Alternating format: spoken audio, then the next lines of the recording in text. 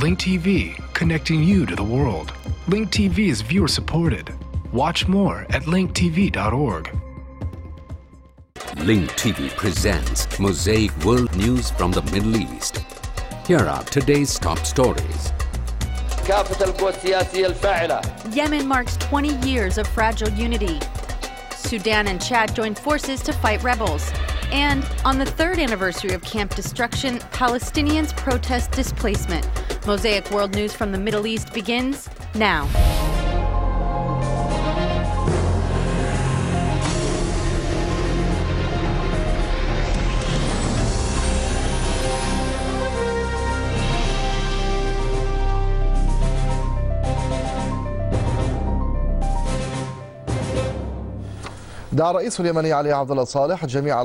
Yemeni President Ali Abdullah Saleh called on all Yemeni parties, both inside and outside Yemen, to hold a national dialogue on the agreement signed on February 2009.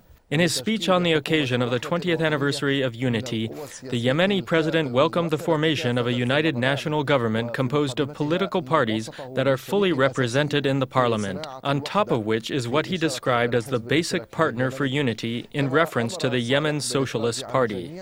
Saleh also ordered the release of all detainees captured during the Saada War and some detainees from the southern insurgencies. The homeland belongs to all of us and is big enough for everyone. We welcome national partnerships with all political forces in light of the Constitution and law and what everyone agrees on. In light of the results of the dialogue, a government could be formed with all influential political forces represented in the parliament, especially the basic partner for achieving unity.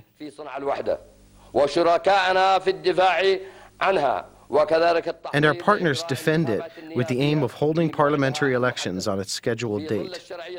In light of the constitutional legitimacy and political pluralism, this reflects our keenness to turn over a new page and eliminate the impacts of the 1993 crisis and the 1994 summer war. Coinciding with the 20th anniversary of unity between the north and the south of Yemen, Yemeni authorities launched a campaign to support this unity and confront what it described as the separatist trend in southern Yemen. Local authorities set up signposts and boards on major roads in southern cities, including Aden, calling for unity and deploring the separatist mentality. Joining me from Sana'a is Al Jazeera correspondent Ahmed Shalafi. Ahmed, what is the most prominent point in the Yemeni president's speech? First, I want to reiterate that many political observers I talked to a few days ago believed that the Yemeni president's speech would not hold any surprises, but it countered these expectations and raised hope on many issues. But, of course, we can look at the speech from two angles. First, it is a speech about forming a united national government, which is obviously about the opposition parties. He talked about forming one national government and said that it could be formed.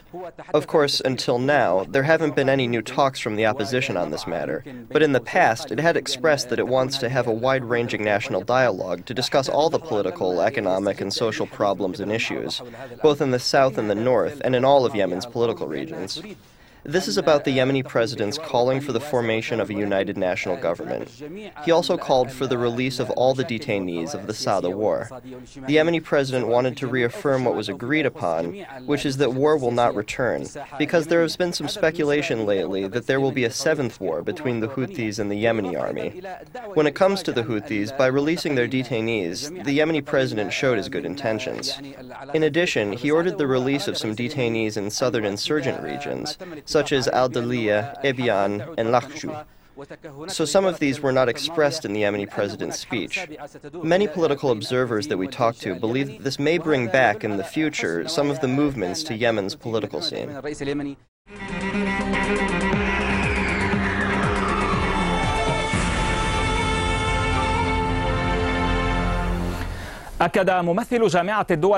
The representative of the Arab League in Iraq, Naji Shalgam, affirmed that the League treats all parties equally.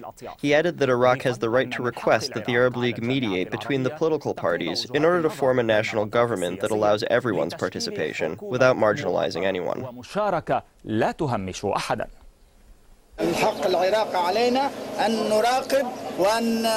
Iraq has the right to request that we monitor, advise, and provide suggestions to all the political blocs and delegations.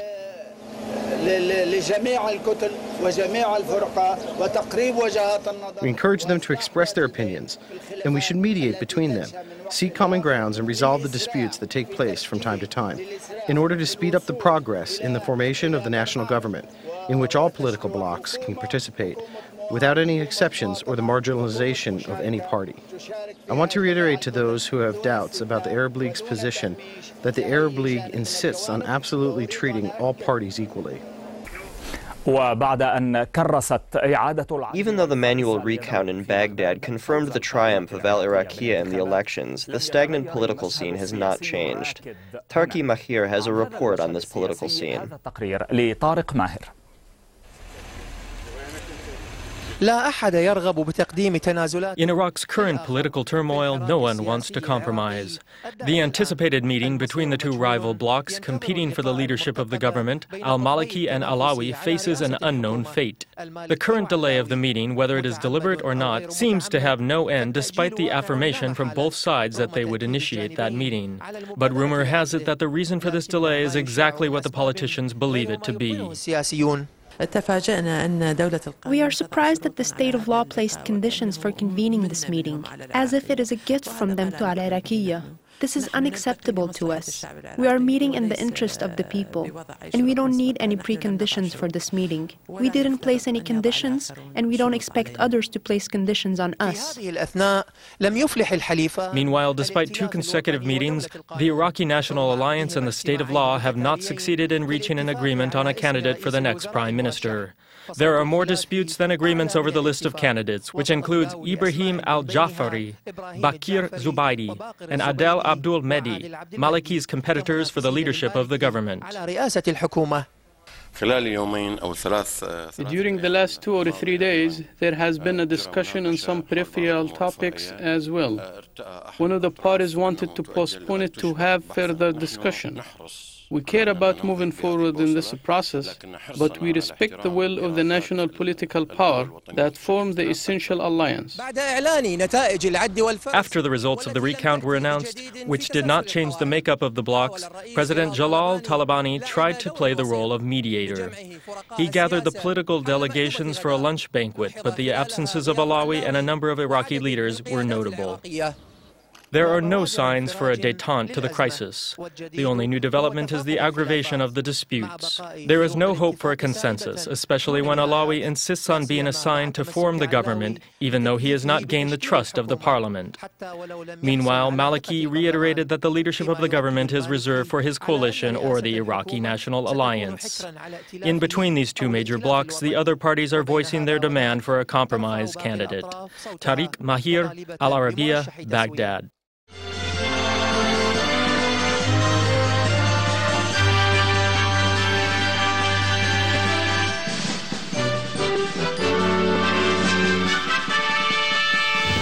Iraqi security forces carried out a series of preemptive military operations aimed at uprooting terror cells from the country. Five terrorists were killed and two were arrested, including the so-called Amir of al-Qaeda's terror cell, during clashes southeast of Bakuba in the province of Diyala. Meanwhile, the Iraqi Department of Public Safety announced a security plan to protect health institutions in and around the Iraqi capital from terrorist attacks. نجاح جديد يضاف إلى سجل النجاحات التي حققتها A new achievement was added to the long list of achievements by Iraqi security forces in light of their latest operation, dubbed Lion's Leap, against terror networks. Iraqi security forces killed five terrorists and arrested two others, including the so-called emir of al-Qaeda's terrorist cell, during clashes that erupted in the village of Dayaniya, in the county of Baladruz east of Bakuba. Security forces also seized three explosive belts and uncovered a cache of weapons and explosives. ومخبأ للأعتدة والمتفجرات We carried out raids in the area of Budul, including the villages of Salwa and Wahid Huzayran south of Baladruz. During the clashes that erupted between the courageous Iraqi security forces and the terrorists, five terror suspects were killed, namely the Emir of Al Qaeda's terrorist cell, Salim Muftah Dahlaki, terror suspect Firas Hamza Ibrahim, terror suspect Ammar Abdullah Mahmoud, terror suspect Khalaf Alwan Mush'an, and a fifth terrorist who was not identified due to a lack of documents. Meanwhile, the Department of Public Safety in the Iraqi capital announced a security plan to protect health institutions from terrorist attacks. As part of the plan, the Department of Public Safety will increase police presence and security patrols in and around medical centers in the Iraqi capital. The plan aims to prevent possible terrorist attacks from targeting government institutions and their employees. We drafted a security plan to protect health and medical institutions and their employees from terrorist attacks. We want to keep a close eye on them so we can protect the lives of government employees and the general public. We instructed our units to remain vigilant at all times so they can respond quickly when summoned for help by hospitals or medics.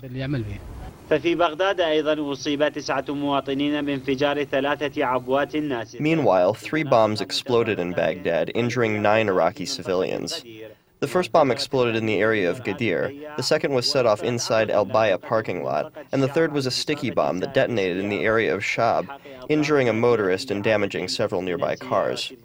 Every now and then, the terrorists change tactics and criminal plots in an attempt to inflict the highest possible number of casualties among Iraqi civilians. In response, Iraqi security agencies launched preemptive strikes as part of an overall security strategy aimed at uprooting terror networks from the country.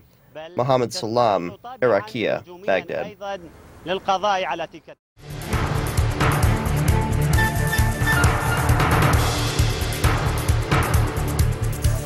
Palestinian refugees demonstrated in front of the UNRWA headquarters in Beirut in rejection of the stalling in the reconstruction of the Nahr al Bared camp. They also announced a three day strike. In protest of the unjustified stalling of the reconstruction of the Nahr al Bared camp, and in light of the hardship of its displaced, different Palestinian factions, the Commission for Nahr al Bared residents, and a number of refugees organized a demonstration in front of the UNRWA headquarters in Bir Hassan. They carried signs explaining their hardships and asking for their deprived rights. They asked the UNRWA to assume its responsibilities and hasten their return to the camp. We are guests. In God's names, we won't exchange Palestine's soil for anything except for heaven's soil. Listen and believe. We don't want anything from you. We don't want your sympathy. Only give us our freedom to live in dignity until God returns us to Palestine. Now is the time to end this tragedy by speeding up the reconstruction of this camp and by providing the necessary funds to reconstruct it the way it was. From here, in the name of the residents of the Nahr al-Bared camp and the residents of all refugees in Lebanon and the world, we call in hastening UNRWA's work and on foreign and Arab donor countries to provide the necessary funds to end this tragedy. There are no excuses for this delinquency and delay because it mirrors the continuous siege and we reject it. We want the resident of the camp to return, and everyone who is dear to us and honorable rejects this humiliation. The Democratic Front for the Liberation of Palestine, DFLP, held a political festival in the Nahr al-Bared camp to mark the third anniversary of the camp's Nakba and the 62nd anniversary of Palestine's Nakba, which included a march in the camp's main streets. Many spoke in favor of the refugees holding on to their right to go back to their homes in Palestine and equated citizenship plans to displacement. After three years of this Nakba, this tragedy, we have the right, we, the residents of the camp, to demand accountability. We ask all those involved, all those responsible for our hardship to come and show us what you gave the residents of this camp for beginning their fourth year in this tragedy.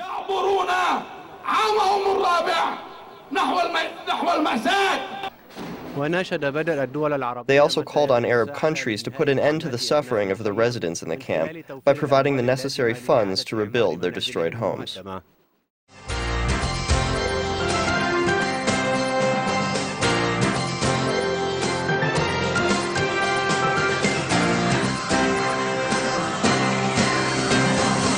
Other news, arrested following the abduction of IDF soldier Gilad Shalit, top Hamas commander Mohammed Abu Tir was released today from an Israeli prison after completing a four year sentence for association with a terrorist group. Activists working to secure Shalit's freedom dismissed Abu Tir's release as absurd. We get more in this report. After his release from Nafha prison, Mohammed Abu Tir received a festive and warm welcome from family and friends in the village of Sur Baher, adjacent to Jerusalem. He told reporters that he has paid a hefty price for being born a political man, but that now he is happy. The 59 year old spent an accumulated 25 years in Israeli jails on terrorism related charges, including a seven year stint after attempting to poison Israel's water supply while the head of the Hamas military wing is Adin al Qassam brigades. He was then recruited by current Gaza Prime Minister Ismail Haniyeh and appointed number two on the Hamas political list during the 2006 Palestinian parliamentary elections. Abu Tir, who has publicly stated that he dyes his beard bright orange, as it was the practice of the Prophet Muhammad, today told reporters that he is sorry that Gilad Shalit remains in captivity because no one, himself included, enjoys captivity. He then firmly placed blame for the collapse of a prisoner exchange deal for Shalit on the government of Israel. This is Aaron Viner for IBA News. Speaking from Italy during a joint press conference with Italian Premier Silvio Berlusconi, Egyptian President Hosni Mubarak cautioned Israel to avoid stalling tactics during peace talks with the PA. The 81 year old Egyptian leader said doing so would result in an increase of terrorism, not only in Arab and Middle Eastern countries, but all over the world. Israeli forces shot and killed two armed Palestinians during a gunfire near the Gaza Strip southern border with Israel. An Israeli military spokeswoman said the two men were shot after they crossed the border and clashed with soldiers. She said the two gunmen entered near Nirim, a small farming community, after breaching the security fence along the border with the Palestinian enclave. Israeli media said soldiers ordered residents of the community to stay indoors during the gunfire. No group in the Gaza Strip claimed responsibility for the incident. A Palestinian official said medical teams were trying to get access to the site east of the town of Khan Yunis to recover the bodies. Earlier in the day, Israeli airstrikes targeted tunnels in the northern and southern Gaza Strip after Palestinians fired two rockets that landed in fields inside Israel.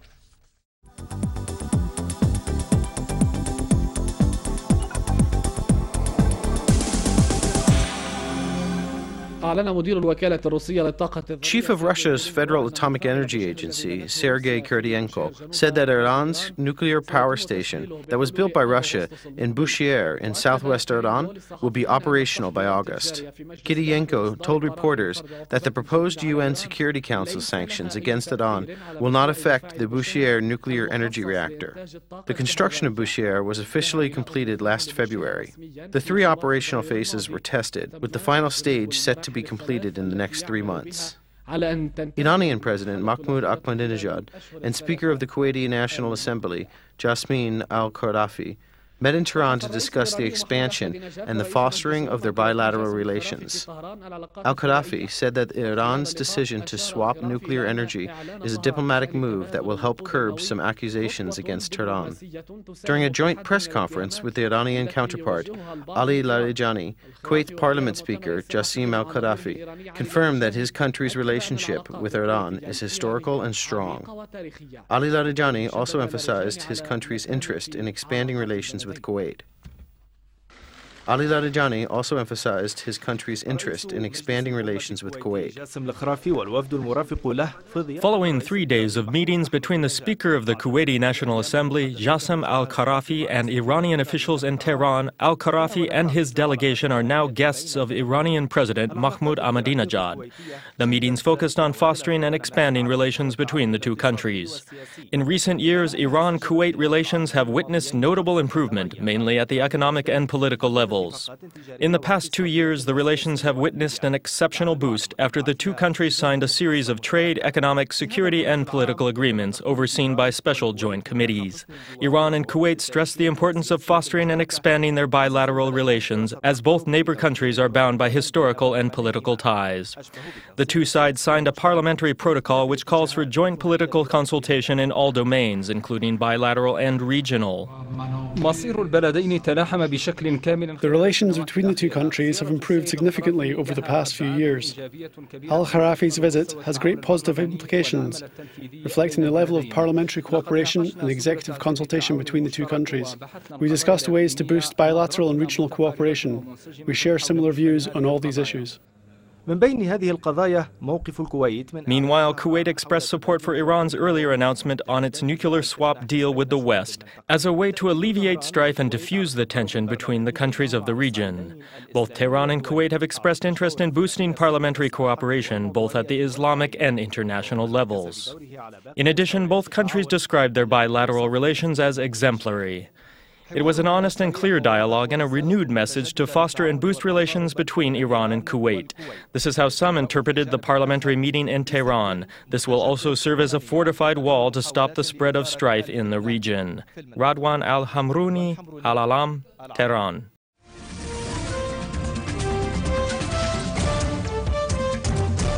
The relationship between Sudan and Chad is as old as history itself. The two nations are geographically and economically linked, as they are bound by blood and mutual interests. Their historical relations are based on bilateral cooperation and consultation. The relationship between the two countries has recently witnessed a notable improvement in all domains. Both sides have come to an agreement to end the political and security hostilities along their border. For a long time, this conflict has strained relations between Khartoum and N'Djamena. The two countries have recently engaged in political and diplomatic efforts, which were crowned with the signing of a normalization agreement between Khartoum and N'Djamena.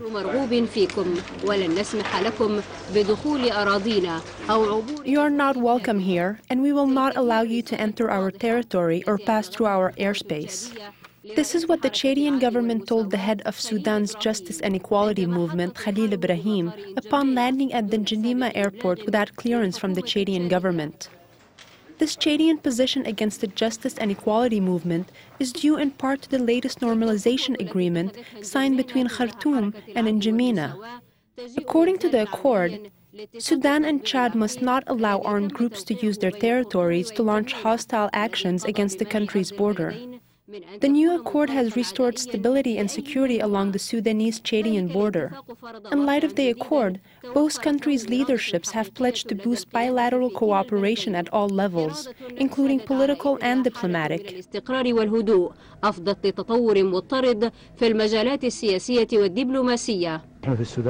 We, in Sudan, are committed to maintaining good relations with our brothers in Chad. Chad's security is important to us. It's as important as Sudan's security. Past incidents have shown this security interdependence. What happens in Chad can affect, by and large, what happens in Sudan, and vice versa. We believe that our brotherly relationship is based on mutual interest. This is the basis of our cooperation. The relations between the two countries have recently witnessed notable improvement, which has led to a productive cooperation. Both sides launched practical measures to boost security cooperation, starting with the signing of a normalization protocol to secure their respective borders. As part of the implementation process, a joint Chadian Sudanese force was deployed along the border to protect national sovereignty sovereignty and stop the infiltration of armed rebel groups into the countries. In addition, Khartoum pledged to supply electricity to more than 30 Chadian border villages battered by armed conflicts. The efforts exerted by the Chadian government have helped boost the peace process in the region of Darfur. In parallel, Khartoum launched efforts to unite Chad by offering to mediate talks between the opposition and N'Djamena. All these efforts have helped boost bilateral cooperation between Chad and Sudan. The two sides launched efforts to boost their relations based on a new set of principles aimed at serving both nations' interests. Sudan and Chad, which are geographically and historically linked, have pledged to foster and expand their bilateral cooperation, vowing to surpass past their differences and open a new chapter in their relations.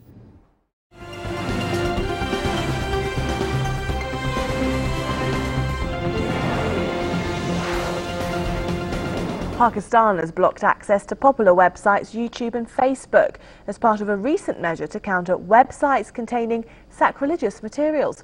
Press TV's Anil Sabir has more. Facebook, a networking website, has been indefinitely blocked in Pakistan for the website's attempt to hold a competition of drawing caricatures of the Holy Prophet Muhammad, peace be upon him. The blasphemous page has created a wave of outrage across the Muslim world, including Pakistan. Pakistan's largest religious party, the Jamaat-e-Islami, on Wednesday held countrywide protests and meetings attended by ulama from all schools of thought, strongly lambasting and condemning the website. People of Pakistan is really very angry and they are feeling disgrace, but the government is not according, uh, acting according to their uh, you know, emotions. So we are asking government and demanding uh, to close this Facebook and make a, a protest to the government who are making this sort of competition. Worldwide, the Muslim community had been calling for Muslims to boycott the popular social networking site.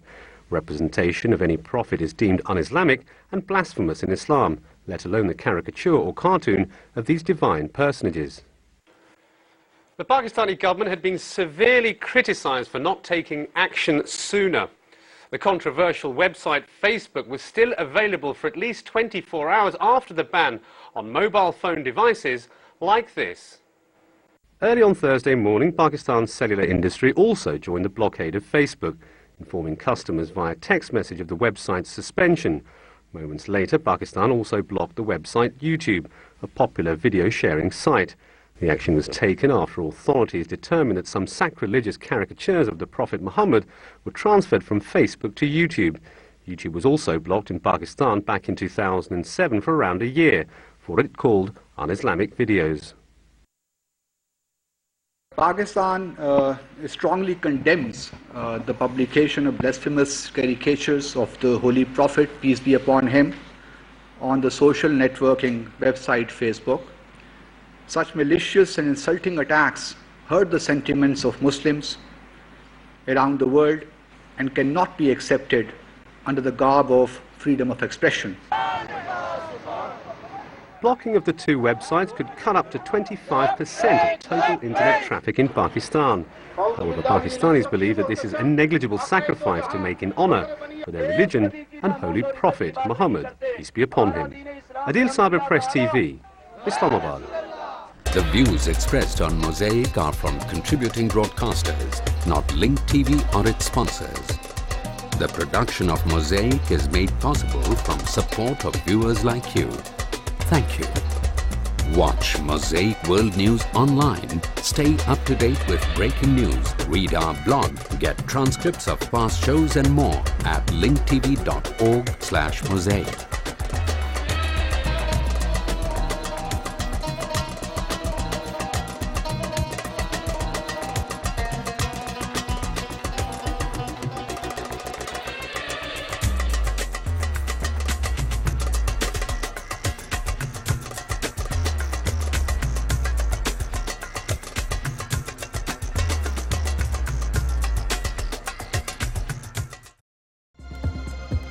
Program is brought to you by Link TV for educational and non-commercial use only.